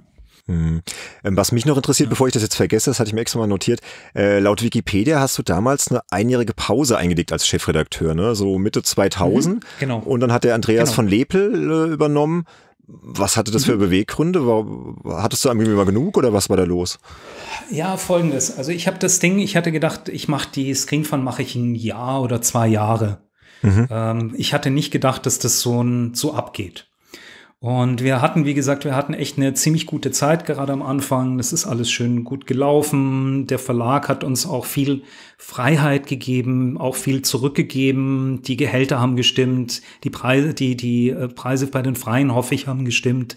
Wir haben viel Zeit rein investiert. Wir haben viel Geld ähm, damals auch gelassen. Wir hatten zum Teil Messebesuche in die USA mit sechs bis acht Personen. Das muss man sich mal reinziehen. Ja. Oder eigentlich, wenn es irgendwie eine Messe in Deutschland war, dann waren alle weg. Also, weil ich hatte eines mir gedacht, es macht, wenn du bei der Screenfun arbeitest und du hast nie so eine Spielemesse gesehen oder du weißt, kennst dein Publikum nicht, triffst du die falschen Entscheidungen. Mhm. Und das war für mich total wichtig, einfach möglichst viele Leute zu zeigen, wie tickt die Spielebranche, wie sind die Leute so drauf, worum geht's hier überhaupt. Natürlich kam der Verlags dann später, kam die Verlagsseite und hat gesagt, äh, die äh, Kostenabrechnung ist aber ein bisschen, äh, ja, es, äh, geht's noch und so. Und ich hatte auch dann, manchmal hatte ich mit dem einen oder anderen Kollegen damals dann schon eine Diskussion, gar keine Frage. Aber der Erfolg gab uns einfach recht. Und jetzt ähm, Sprichwort Erfolg. Ähm, das war für mich eine ganz spannende Zeit nochmal. Alles lief total gut. Aber wie ihr kennt das, wenn alles total gut läuft, suchst du dir immer schon so ein bisschen eine neue Herausforderung. Und der Kollege, der mich damals eingestellt hat, der Verlagsleiter Grabner, wurde damals Vorstand beim Axel Springer Verlag. Mhm. Und da wir wirklich gut konnten und ähm, er ohnehin gerne mehr in Richtung Digitales oder Magazin zu dem damals aufkommenden AOL und den ersten Versuchen im Internet gerne entwickelt hätte, hat er gesagt, locker, eines Abends angerufen hat gesagt, locker, ich bin jetzt draußen bei der, bei der, bei Bauer, ich gehe zu Springer, hättest du nicht Lust mitzukommen? Neue Entwicklung, lass uns einfach draufhauen. Und ich gesagt, okay, klar, bin ich dabei. Ähm, ich wollte ohnehin, jetzt habe viele viel gespielt und alles, alles okay. Vielleicht wird es jetzt mal Zeit für was Neues.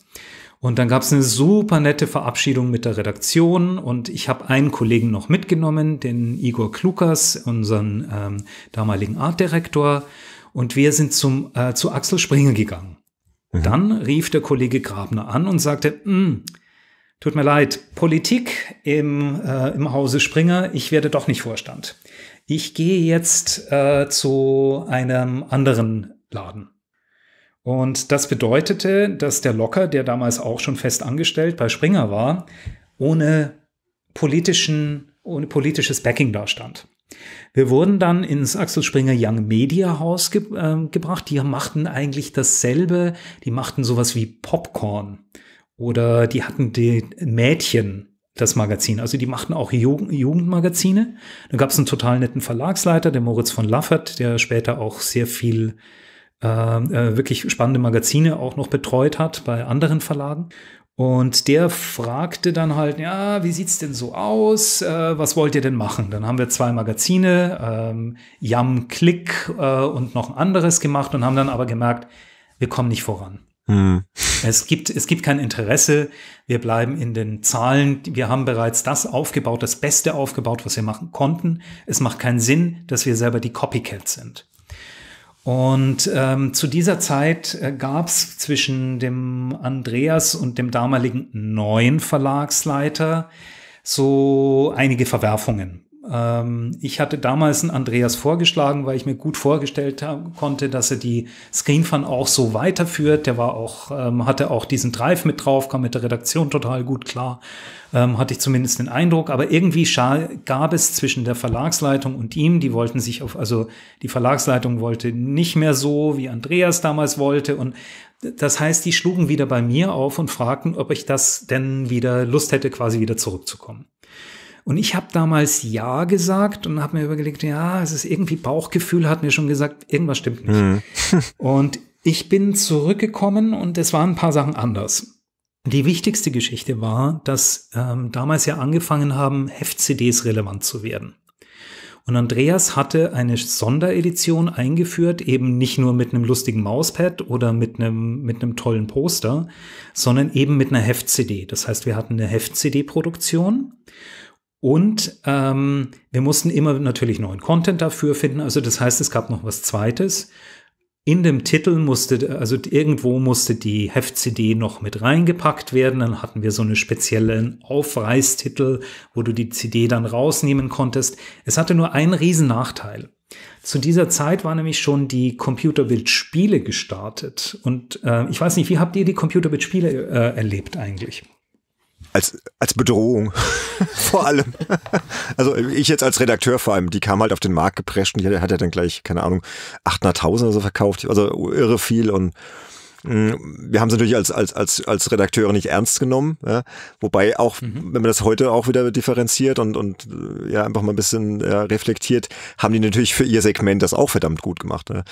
Ähm, aber hallo. Ja. ja. und da war alles richtig gemacht im, im Nachhinein. Aber klar, ich als junger Redakteur, ich, ich, ich habe halt für ein, für ein etwas nischigeres äh, Freak-Magazin gearbeitet. Ich fand die halt scheiße und dann kommen die da auf den Markt und hauen da raus und dann die, die Screen-Fun gibt's ja auch noch, ja. Und was ist mit uns? Und also ich fand die äh, sehr bedrohlich, ja. Ja. Genau. Ja, also ich, ich, ich muss sagen, äh, bei Computerbildspiele war halt immer so, was haben sie diesmal wieder für eine Vollversion äh, an Land gezogen und äh, die ja, wiederum mhm. war, hatte einen starken Einfluss darauf, wie relevant das Heft war. Teilweise auch für Leute, die es sonst nie kaufen würden, aber wenn du dann halt ein, ich will jetzt, ich weiß nicht genau, äh, die kennen jetzt nicht mehr die genaue Historie sämtlicher Vollversionen, aber wenn da halt ein Titel dabei war, der dich angesprochen hat und äh, du dann gesagt hast, okay, selbst wenn mich das Heft nicht interessiert, ich die fünf Euro oder diese sechs Mark oder wie auch immer gebe ich dann aus, damit ich dann äh, Zugriff auf dieses Spiel habe für viel weniger Geld, als ich sonst kriegen würde. Und dann ist ja klar, ähm, warum da auch über diese Schiene sehr viele Verkäufe gelaufen sind, ja. Und wie Benedikt sagt, äh, sie haben es für ihre Zielgruppe sehr gut gemacht, weil sie natürlich vieles äh, sehr, ja, wie soll ich sagen, ähm, so erklärt haben, dass selbst der, derjenige, der noch nie gespielt hat, dann sehr gut äh, mit bestimmten Themen zurechtkam und reingekommen ist. Und das war, glaube ich, so deren äh, Punkt. Mhm. Ja, auch teilweise mit dem Ausschreiben von englischen Begriffen und sowas. Habe ich also gerade, ging mir gerade im Kopf wieder Action-Spiel, ne? Mit wo andere gelacht haben. TSCH ja, in Action. wie, wie, kann man das nur so machen? Aber äh, auch da äh, gab es bestimmt Leute, die sich davon angesprochen fühlten und dann vielleicht auch mal wussten, wie man eben die Begriffe dann richtig ausspricht oder sowas, mhm, ja. Mhm, mhm. Und dadurch mitreden konnten. Mhm. Und ähm, ja, und ihr hattet ja dann auch äh, diverse Vollversionen auf dem Cover, wenn ich mich nicht irre. Ja. Also wir haben sehr schnell gemerkt, dass die Computerbildspiele für ihre Zielgruppe, das waren, wir haben sie immer so ein bisschen als die Gelegenheitsspieler oder sagen wir mal die die Leute, die sich nicht so rasend für das Spielethema interessiert haben, aber eben gerne eine Vollversion auch haben wollten. Und auch, weißt du, so die Kollegen, die ja, ich habe da jetzt mal, ich spiele immer Minesweeper oder ich habe da diesen tollen Flugsimulator.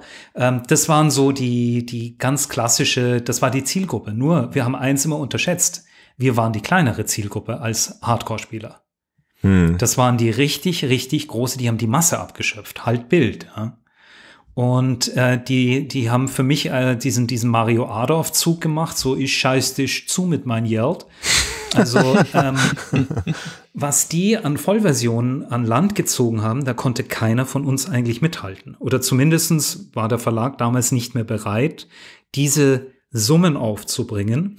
Und ich glaube, es war auch vom Verlag her auch die richtige Entscheidung, weil wenn du zwischen zwei Marken Bravo hat die Jugend sehr gut besetzt.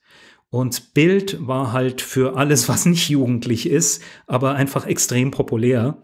Ähm, die haben dort einen Riesendurchstich gemacht und die haben ganz viel richtig gemacht. Und auch wenn es für uns Spieler eine Screen Fun manchmal so ein bisschen äh, cringy war und mm. die Computerbildspiele äh, genauso gut cringy für 99 Prozent der Menschen. Nee, noch schlimmer. Die haben nur gesehen, äh, die haben nur gesehen, hey, da steht Bild drauf, da steht Bravo drauf, da weiß ich, was drin steht. Ja? Ja. Oder weiß, was mich erwartet. Ja? Also die haben das total richtig gemacht und haben es, finde ich, auch dann in, zum, die hatten auch mal eine Hoch- und eine Glanzzeit.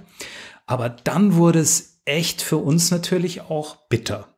Weil erstens mit der Vollversion, also wir mussten ein Heft produzieren mit CD, eins ohne CD. Dann ähm, später kam dann auch noch mal so eine Ex mit Vollversion und ohne Vollversion. Hm, dann ja. gab es also drei Ausstattungen mit also äh, klein, mittel, groß, mit jeweils verschiedenen Preisen. Ähm, dann gab es auch, also ich hätte es damals eigentlich klüger gefunden zu sagen, die Screenfun ist die günstigste am Markt und bleibt auch die günstigste. Mhm. Ich wäre mit dem Preis eher runtergegangen und versucht, äh, versuchen zu sehen, ob du da Leute einfach abgrabbeln kannst oder mhm. ein bisschen eine ältere Screenfun hinzulegen. Aber wie auch immer, wir mussten damals sehr stark sehen, dass die Computerbund Spiele und auch die GameStar und die damals erscheinenden Magazine uns Leute abgegraben haben. Hm. Und das Zweite, was dann passiert ist, war natürlich Internet. Ja.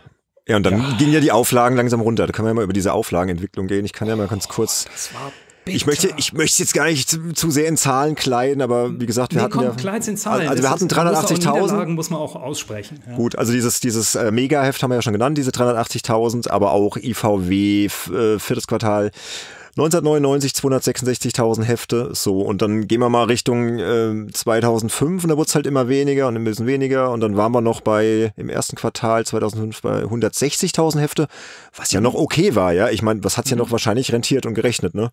Aber dann wurde es halt langsam bitter und dann kommen wir ja langsam schon so Richtung Endzeit. Ich weiß nicht. Dann kommen wir Richtung Exitus. Also Exitus für ja. uns war, warte mal, wann war Schluss? Sommer 2006 war bei uns dann Finale. Also in München. Genau, also für, als Redaktion für euch. Das Heft genau, gab es ja dann genau, noch, ja, genau. Mhm. Genau. Also es war so, wir haben innerhalb der Redaktion gesagt, es natürlich waren die Personalkosten natürlich neben den Produktionskosten der größte Batzen. Ist mhm. ja immer so. Ja. Und ähm, wenn es nicht gut funktioniert in der Redaktion, was machst du als Verlagsmanager? Du sagst, wo kannst du sparen? Dann kannst du sparen bei der Ausstattung, dann kannst du die Sonderfarben wegnehmen, dann sagst du, muss da wirklich ein Poster rein, kann es auf der CD nicht irgendwas günstigeres sein und dann kommt der Tag, wo der Chefredakteur dann vor dir sitzt und du sagen musst, du musst drei Leute rausschmeißen, anders kriegen wir es nicht gebacken. Ja. Ähm, ich denke immer noch, dass der Verlag hat in den ersten Jahren sehr gutes Geld mit der Screenfun gemacht, weil wir unterm Strich immer noch echt günstig waren. Also das war, das Budget, das ich hatte, war äh, in Ordnung, sehr in Ordnung, aber natürlich nicht vergleichbar mit einer Bravo oder auch einer Bravo Girl oder sonst irgendwas. Also wir waren immer noch die günstigsten, haben aber echt fett Auflage gemacht. Und in den, in den späteren Jahren wurde es allerdings immer kritischer. Und ich kann auch sagen, wir waren die erst, das erste Magazin, das vom Internet einfach voll eins in die Fresse bekommen hat. Mhm. Ähm, wir hatten damals einen Auftritt von äh, Bravo Screen Fun auf AOL. Den haben wir gesagt, hey, das macht die Redaktion total gerne mit, wir wollen das machen. Aber der Bauer Verlag hat dann gesagt, naja, wir wollen da andere strategische Dinge machen und so. Ist natürlich total versandet alles, es ist nie irgendwas passiert. Und dann kam der Punkt, wo einfach das Web abgehoben hat und wir konnten wirklich zusehen, wie das Web uns einfach, wie die Kinder natürlich gesagt haben, warum soll ich da irgendwie 6,90 Euro ausgeben für eine Bravo Screen Fun, wo ein Spiel mit droben ist, wenn ich im Netz mir ohnehin jetzt ohnehin die Informationen auch genauso bekomme und wahrscheinlich auch die Raubkopie. Mhm. Und das heißt, es wurde immer schwieriger für uns, das einfach uns ähm, ja, zu verargumentieren, auch dem Leser zu verargumentieren. Und wir waren eine des, der ersten Magazine, die das große Magazin Sterben oder das große Magazin Schrumpfen miterlebt hat. Und das waren drei, zweieinhalb Jahre, die für mich persönlich zu, in der Arbeit zu den, äh, zu meinen härtesten, fiesesten, stolzesten und frustrierendsten Jahren überhaupt gehören, weil du dich permanent irgendwie dagegen stemmen musstest, mhm. gegen diese Erosion. Ich bin immer zur Verlagsleiterin dann schon hoch und habe gesagt, na, wie viel haben wir seit gestern verloren? Weil es war, es ging einfach, es gab nur einen Weg nach unten. Ja, freier Fall, ne? Also ich, habe mir das auch mal angeschaut, ja, genau. es, es, hat überhaupt nicht mehr aufgehört. Ne? Und das war ja dann auch wirklich nee. brutale Einbrüche, nicht nur irgendwie mal 5000 ja. Hefte, sondern dann direkt auf einen Schlag, keine Ahnung, 40.000 ne? von einem ja, genau. Quartal genau. zum nächsten. Ja, und es war, heftig. es war dann auch die, das Magazin in dieser Form und zu der, zu der aktuellen Zeit hatte sich überlebt. Punkt. Ja, Vielleicht ja. nicht die Inhalte, die sich Überlebte hatten. Das glaube ich nicht, weil es immer noch, hätten wir damals es geschafft, Bravo Screen Fun oder die Bravo als Marke komplett ins Internet zu transferieren, hm. hätten wir heute eine gute Startposition gehabt. Damals war aber die Heinrich Bauer Produktions KG in Hamburg für den Internetauftritt zuständig. Und da waren wir natürlich, wenn du sagen kannst, du kannst die Bravo ins, ins Internet bringen oder du kannst die Screenfun ins Internet bringen, dann weiß ich genau, was ich machen würde. Ich würde mich natürlich auf die Großen konzentrieren. Und die Kleinen, wir waren nur lästig dann irgendwann mal. Ja. Und mhm. wir haben mhm. viel versucht, wirklich ähm, das, das Heft irgendwie ins, ins Netz zu kriegen und permanent, ja, und wir können da sicher gegensteuern, aber damals wusstest du auch nicht, wie sollst du es monetarisieren, wo kommt die Kohle wieder rein und so. Es war eine Scheißzeit. Ja. Ähm, erfreulicherweise haben sich die Kollegen wirklich super nett und fair verhalten, die alle da äh, wirklich mit drangezogen haben. Aber irgendwann mal im Sommer 2006 war einfach, also es gab eine erste Entkündigungswelle, dann haben wir alles halt zusammengedampft und irgendwann mal kam halt der Tag im Sommer 2006 und standen wir im ersten Stock in unserer Redaktion und dann gab's halt die Ankündigung und ich hätte am liebsten irgendwas zu Klump gehauen und die anderen hatten Tränen in den Augen. Es war aber eigentlich allen schon klar, dass es nicht mehr so weiterging. Mhm. Der Verleger, den, mit dem ich damals auch gesprochen habe, also Heinz Heinrich Bauer, der wie gesagt, glaube ich, ein Batzen damals so von 25 Prozent des deutschen Zeitschriftenmarktes hatte. Ähm, ein sehr netter, angenehmer, zurückhaltender Kaufmann, der alles sich hat begründen lassen und wirklich jede, äh, jede Investition nochmal dreimal nachgefragt hat, ob es nicht irgendwie, äh, warum kriegt er eigentlich so viel Geld? Und du musstest es nur begründen können. Dann ging's, ja. Mit dem habe ich dann nochmal gesprochen und der hat dann gesagt, ja gut, also es gibt jetzt halt eine, eine, Möglichkeit, sie übernehmen quasi das als kleines Redaktionsbüro und machen das selber. Aber mir war dann klar, ich will da auch raus. Ja, das hat dann irgendwie keinen Sinn gemacht. Dann hat's der Kollege Stefan Freundorfer, der damals die E-Games beim Bauer gemacht hat, hat das dann übernommen. Ach ja, stimmt, und, der Stefan hat das ja eine Zeit lang gemacht. Genau, äh, mh, genau. Ja, ich erinnere mich. Und der mh. hat sich dann auch noch, wie alle anderen, ähm, dann halt nochmal dagegen, ähm, äh, gegen den, den äh, Abstieg gestemmt, aber völlig, es war völlig sinnlos. Und zum Schluss hat's der Holger Reher halt gemacht, der hat so einen schönen Gemischtwarenladen an Magazinen und da waren halt die Screenfun noch mit dabei, aber gefühlt war das dann schön gesagt. Ja. Ja. Das war einfach nicht mehr, das war nicht mehr mein Heft. Ich hatte dann nichts mehr damit zu tun. Bei Stefan konnte ich dem noch ähm, auch noch was abgewinnen, aber äh, weißt du, wenn du so, das ist so ein bisschen wie eine Ex-Freundin, ja, du willst dann nicht mehr wirklich was damit zu tun haben. Ja? Wenn du dich einmal losgesagt hast, dann ist es gut. Dann musst du auch Schluss machen. Ja gut, du warst ja dann noch emotional wahrscheinlich erst, erst total involviert und dann, dann war halt dieser Abschied und dann war es halt vorbei. Ne? Ja, ja, also es war, es war dann auch für mich persönlich keine, keine leichte Geschichte, weil was machst du als nächstes, ja? Glaube ich, ja. Ähm, hm. Ich habe dann für mich ähm, gesagt, okay, ich fange einfach noch mal beim am Bo äh, ganz unten an und habe mich dann einfach als Freier verdingt und das lief dann sieben Jahre und ähm, habe tolle Kunden gehabt, also viel vor allem für die ZDF heute geschrieben die Future hm. Zone äh, in, in Österreich, äh, auch für die Bravo lustigerweise. Ähm, und habe auch. Der Kreis viel, geschlossene. Ja, ja, ihr habt viel für die Bravo.de geschrieben, gell? Kann das sein? Also damals, als ich mich selbstständig gemacht habe, das war 2001, also nach meiner Redakteurszeit, war Bravo.de tatsächlich einer meiner wichtigsten und größten Kunden. Und da habe ich mich mhm. damals auch mit dem Winnie Forster noch getroffen. In, in München war das aber, oder war es in Hamburg? Es war in München trotzdem. Ich glaube, die saßen auch in München irgendwann, Bravo.de. Ich weiß gerade gar nicht mehr. Oder doch, es war München. Die saßen in München, ja, ja. Die saßen in Charles de Gaulle Straße. Ganz genau. Ja, und da fiel mir aber immer auf, dass halt diese Verzahnung zur Printredaktion nie stattgefunden hat. Das haben dann Winnie ja. und ich natürlich auch festgestellt. Klar, wir haben natürlich als Freie profitiert, weil die uns dann echt extrem viele Aufträge rausgehauen haben und wir haben dann am Anfang sehr, sehr viel für die gemacht. Ne? Damals, Sönke, weißt du mhm. auch noch, E3, Live-Berichterstattung ja, ja. für Bravo.de. Halo-Test und was weiß ich da alles. Waren das schon ganz, ja, aber ja, aber auch die haben dann irgendwie kein, wirklich kein Konzept gehabt und haben dann auch, mhm. ich glaube, die haben auch einfach zu gut bezahlt und zu willenlos rausgegeben und klar, du, mhm. du, als junger Selbstständiger sagst jetzt auch nicht nein, ja, aber ja. Es, hat, es, hat, dann auch nicht lange gehalten. Ich weiß gar nicht, ja. bis 2003 oder 2004, ich weiß es nicht mehr. Also ja, schade. Was mich noch interessieren würde, hattest, hattest du denn dann in den Jahren danach irgendwann noch mal so das Gefühl, hey, Vielleicht sollte man das Ganze äh, mit einer komplett eigenen Internetplattform äh, vielleicht ein paar Leuten, die damals mitgemacht haben, unter neuem Namen irgendwie nochmal versuchen. Hast du da je dran gedacht oder? Nein, überhaupt nicht. Null. Mhm. Also mir war es wichtiger, ähm, ganz offen, für mich war das, äh, ich hatte mich damals in eine Situation äh, manövriert, wo ich an der Spitze eine Nische, einer Spitzennische stand. Also Chefredakteur, Computer, also äh, Fachmagazin, Jugendmagazin, Bravo. Es ist extrem spitz. Und was ich mal machen wollte, ich wollte unbedingt wieder breiter werden. Das heißt, ich habe auch ähm, dann später viel für die Kollegen bei Burda ähm, geschrieben. Ich habe angefangen, plötzlich über Themen für die fürs ZDF über historische Themen zu schreiben. Ich habe ähm, ich habe einfach gelernt, ähm, alles zu machen. Hm. Das war für mich nochmal eine ganz wichtige Schule auch noch. Es war finanziell nicht wirklich erfolgreich, muss ich auch ganz ehrlich sagen. Ich bin gerade so über die Runden gekommen.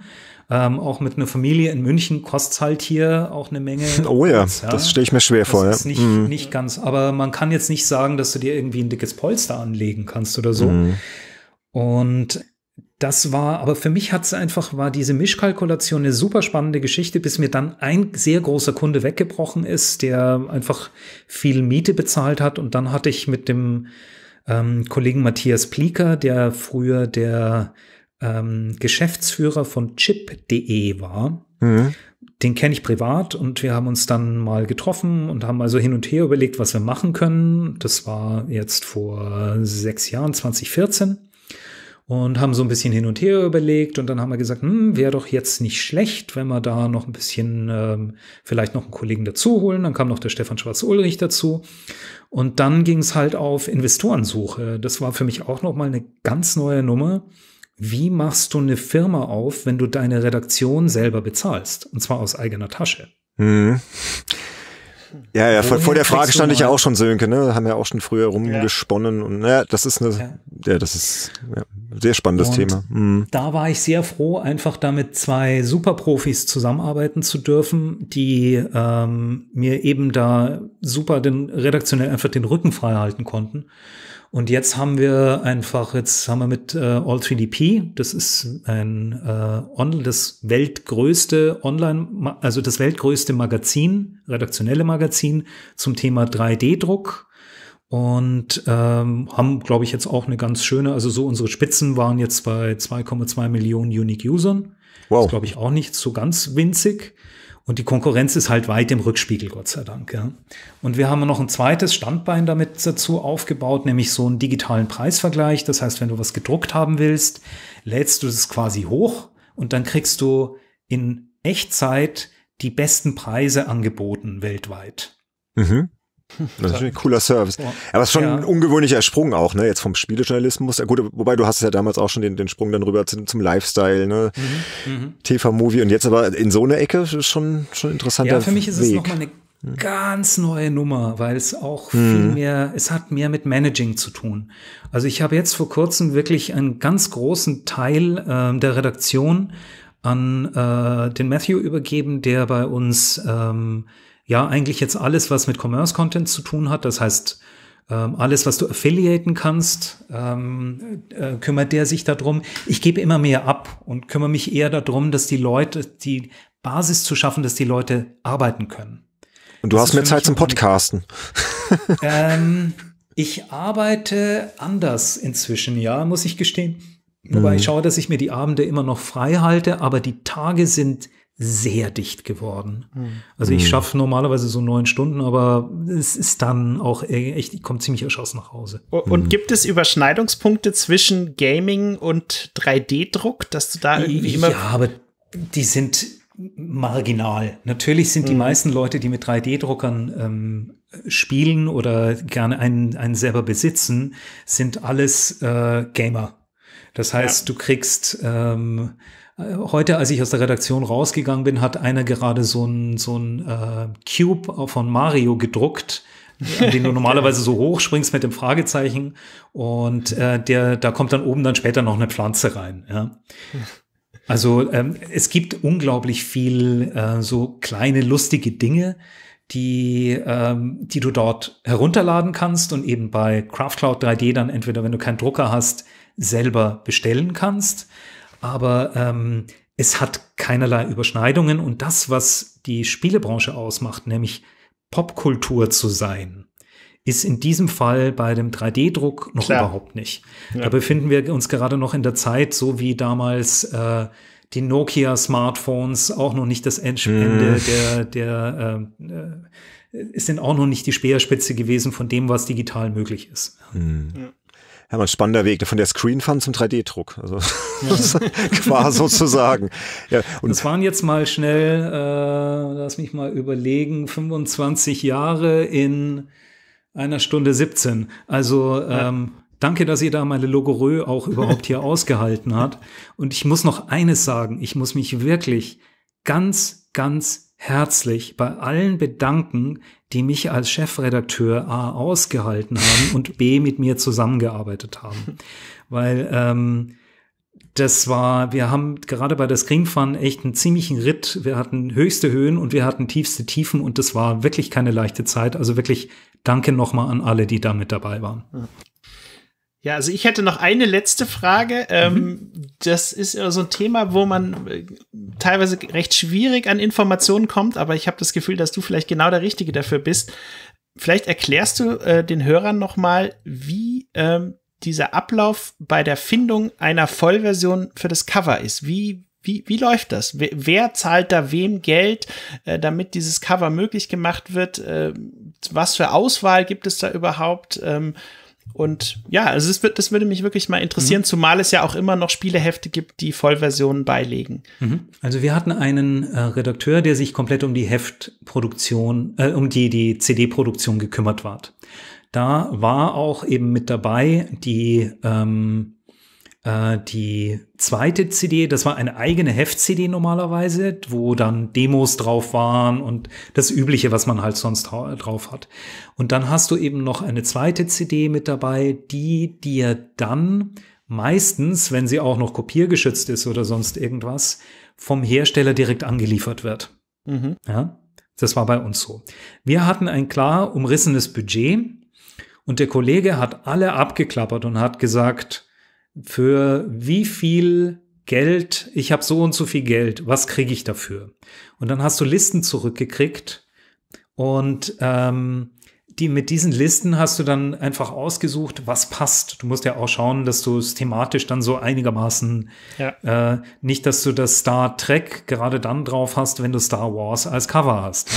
Ja? Also ja, also es muss ein bisschen, sollte ein bisschen dazu passen. Und ähm, der Kollege hat sich dann wirklich da komplett darum gekümmert. Und manchmal, wenn es dann um die Demo-Version ging, dann war es einfach ganz normales Anrufen. So habe ich es mhm. zumindest in Erinnerung. Wir hatten dann auch zum Teil noch eine eigene, der da hat der äh, Clape, Christoph Klappetek, der heute ähm, übrigens nur zwei Straßen von mir weiterarbeitet. Ähm, der hat eine DVD-Oberfläche mit eigener Mucke dazu programmiert. Nee, die Mucke hat sogar noch einer unserer Grafiker dann noch dazu gemacht. Also ähm, wir hatten eine eigene DVD-Oberfläche für Videos und so. Wir haben da echt viel Zeit einfach noch mit reingesteckt. Ich weiß aber gar nicht, ich hatte echt immer so das Gefühl, dass das Magazin, das eigentliche Kernstück, das Herzblut, damit rausgefallen ist, weil die Leute halt das Heft gekauft haben, fanden sie die Vollversion gut, war das Heft okay.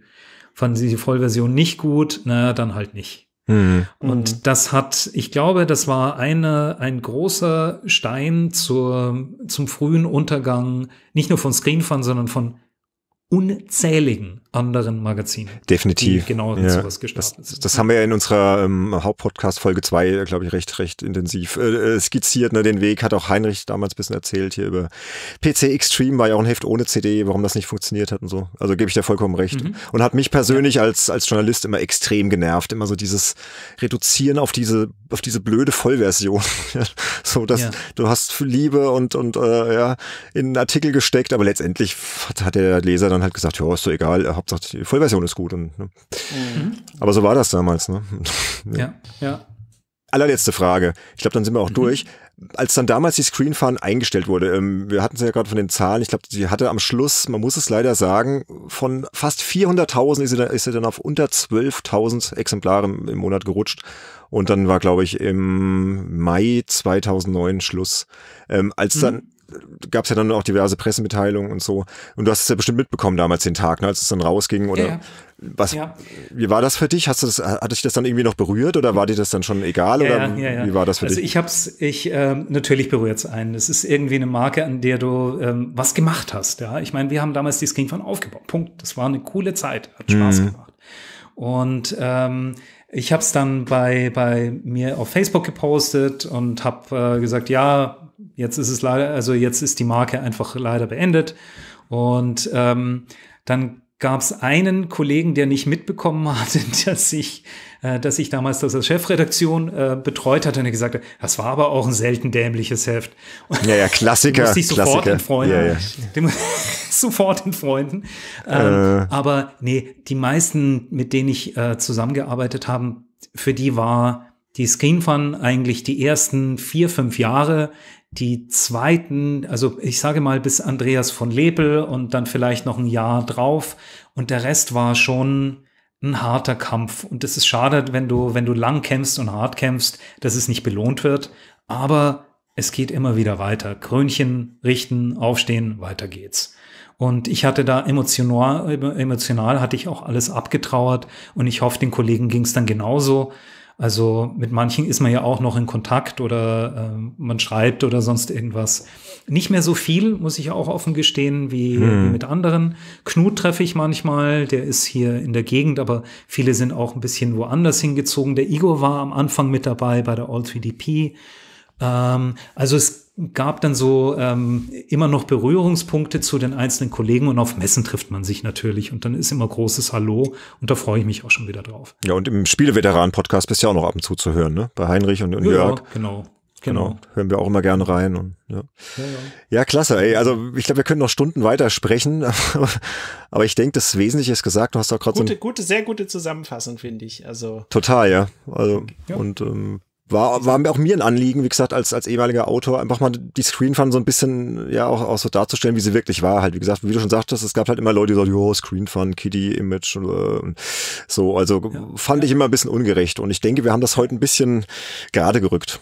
Oder? Das freut mich, freut mich auch sehr für das Interesse, weil, wie gesagt, es war ein Heft, das polarisiert hat und ähm, finde ich cool, dass ihr das einfach auch aus einer professionellen Warte einfach seht. Und ähm, ja, cool. Danke für die Einladung. Sehr gern. Also vielen Dank fürs Kommen und ähm, hat richtig Spaß gemacht. Ne? Sönke. Ja, und wenn, wenn wir jemanden äh, suchen, der uns nochmal Tipps gibt, wie man für Patreon-Fans äh, coole 3D-Goodies äh, druckt, dann wissen wir, an wen wir uns wenden können. Sag Bescheid. Ja, Sag Bescheid. aber also ein gutes Stichwort, ne? Ähm, Patreon. Also wir haben ja diese Folge jetzt, das ist ja die allererste Folge von Making Max, unserem neuen Bonusformat. Die haben wir jetzt auch in den offenen Feed gestellt, dass möglichst viele Menschen da draußen sie hören können, äh, auf iTunes, auf Spotify, wo auch immer ihr sie jetzt gehört habt.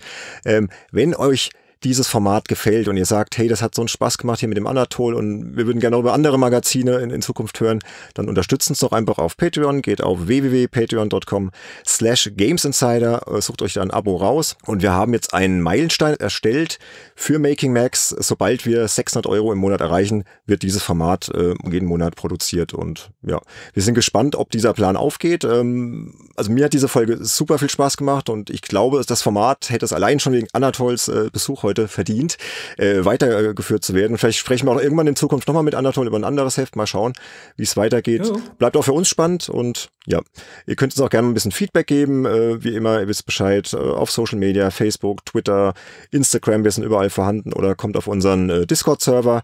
Schreibt uns doch mal, wie hat euch das Format gefallen? Vielleicht habt ihr auch noch die eine oder andere Frage, könnt ihr gerne reinpacken und dann sind wir für euch da und beantworten das sehr gerne. Ansonsten nochmal vielen Dank, Anatol. Sönke. Ich sag herzlichen Dank. Ja, Dankeschön für deine Zeit. Gern. Und macht's gut. Bis bald, ne? Bis bald. Dankeschön. Tschüss. Ciao. Ciao, ciao.